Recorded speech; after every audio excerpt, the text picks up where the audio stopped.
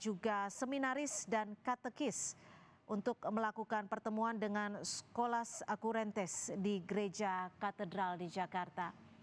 Jaraknya tidak terlalu jauh, saudara, dari Kedutaan Besar Vatikan menuju Gereja Katedral Jakarta. Ini adalah mobil pengamanan uh, tahap awal yang akan mengiringi kendaraan yang ditumpangi oleh Paus Fransiskus. Ada sejumlah kendaraan roda 4 dan roda 2 yang ikut mengiringi Paus Fransiskus untuk menuju gereja katedral.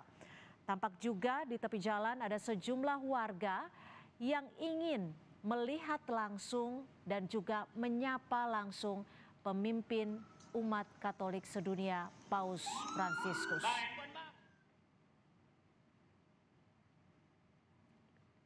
Ini ada beberapa kendaraan selain kendaraan pengamanan juga ada kendaraan minibus seperti itu yang uh, tentunya diisi ataupun ditumpangi oleh pendamping dari kedutaan besar Vatikan. Tampak jalan sedikit melambat saudara karena begitu banyak antusias warga yang ingin menyapa langsung Paus Fransiskus yang memang tidak segan dari sejak kedatangannya di Indonesia. Paus Fransiskus tak segan untuk membuka jendela dan menyapa warga secara langsung. Dan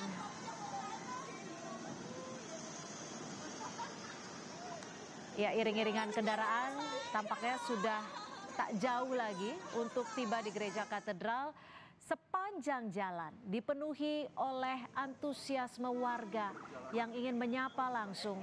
Dan kita tahu sejak kemarin tiba di Indonesia sampai menuju tempat kedutaan besar Vatikan, Paus Fransiskus tidak menutup jendelanya dan menyapa secara langsung masyarakat Indonesia. Ada sejumlah kendaraan iring-iringan yang menjadi, menjadi bagian dari protokoler pengamanan karena Paus Fransiskus datang ke Indonesia sebagai pemimpin umat Katolik tertinggi sedunia yang juga merupakan kepala negara Vatikan. Kalau agenda tadi pagi saat Paus Fransiskus menuju Istana Merdeka Jakarta, Paus Fransiskus sempat kendaraannya sempat terhenti untuk memberikan berkat bagi seorang bayi bernama Wilan.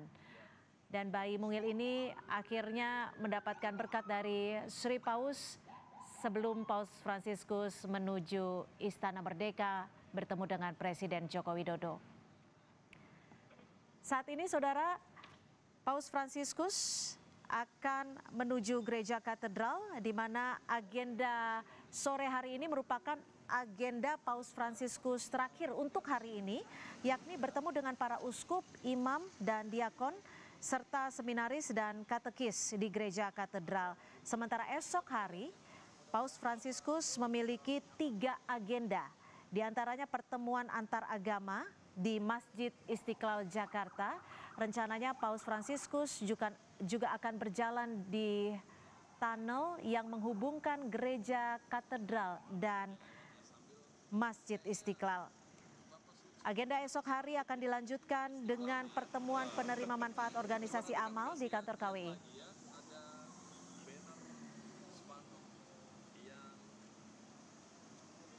Ya, saudara ini adalah visual terkini di mana mobil yang, dikenda, yang ditumpangi oleh Sri Paus Fransiskus berwarna putih Kijang Innova seperti itu yang digunakan sejak kemarin oleh Sri Paus hampir tiba di gereja katedral.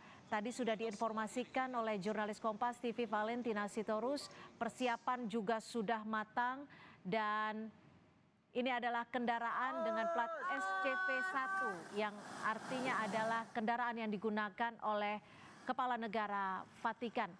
Ini adalah visual di katedral, saudara sejumlah anak-anak menggunakan kaos berwarna putih dengan bawahan otentik Indonesia bersiap untuk menyambut Sri Paus untuk bertemu dengan para uskup imam di gereja katedral.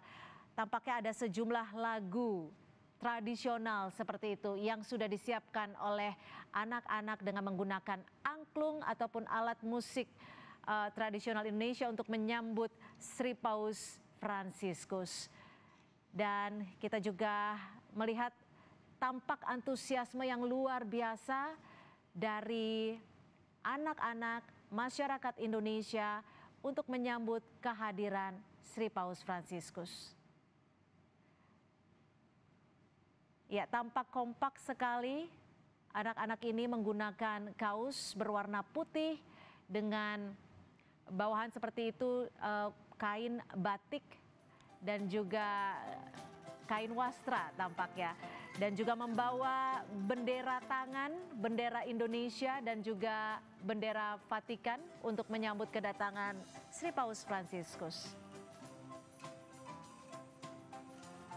Ya saudara, Paus Fransiskus sudah tiba di Gereja Katedral Jakarta. Agenda hari ini adalah pertemuan dengan uskup, imam, dan juga katekis di Gereja Katedral. Ini adalah agenda yang akan dilakukan Paus Fransiskus hari ini.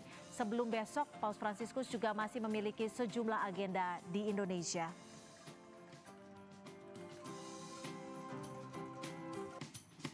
Ya, ini adalah visual terkini di mana Paus Fransiskus sudah tiba di halaman Gereja Katedral Jakarta.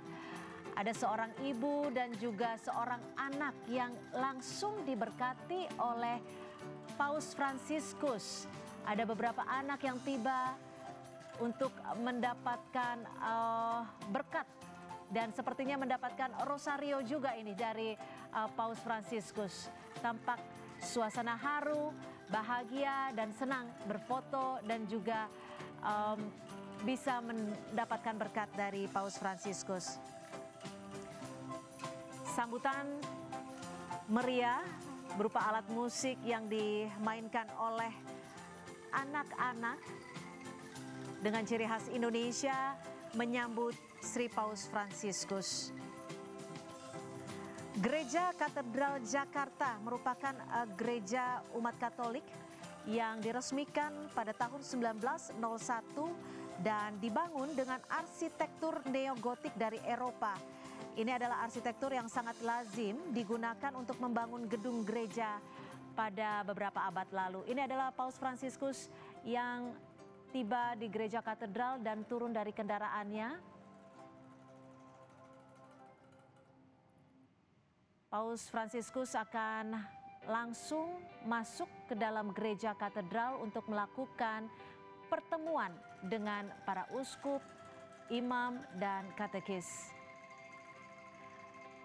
Jadwal ataupun agenda Paus Fransiskus di Indonesia sejak hari kemarin ataupun tanggal 3 September dan akan berlangsung hingga 6 September memang diketahui cukup padat, saudara ada sejumlah jadwal yang uh, disiapkan ataupun akan dilakukan oleh Paus Fransiskus.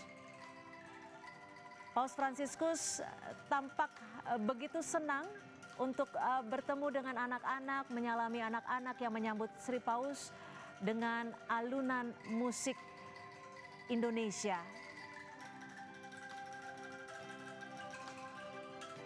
Ya, ini adalah visual terkini saudara di mana Paus Fransiskus bertemu dengan anak-anak yang menyambutnya di Gereja Katedral Jakarta satu persatu tanpa terkecuali Paus Fransiskus tidak segan.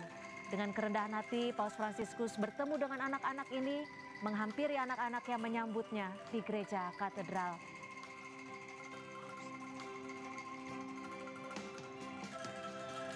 Paus Fransiskus memiliki agenda pada pukul 17 16.30 maksud kami untuk bertemu dengan para uskup, para imam dan juga para katekis. Sangat bersahaja, sangat sederhana. Itulah karakter dari Paus Fransiskus yang terbaca sejak pertama kali tiba di Indonesia.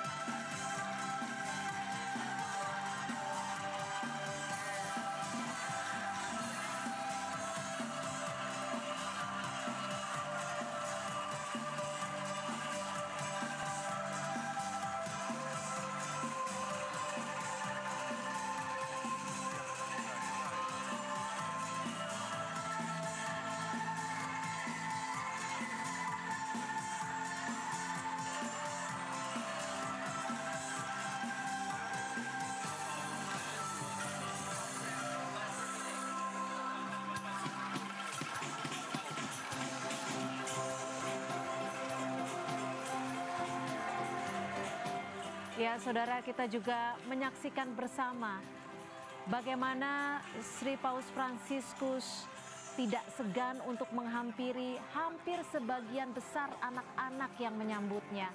Bahkan Sri Paus juga hampir tiba di bagian pagar gereja katedral untuk menyapa warga yang menyambutnya. Ini visual terkini.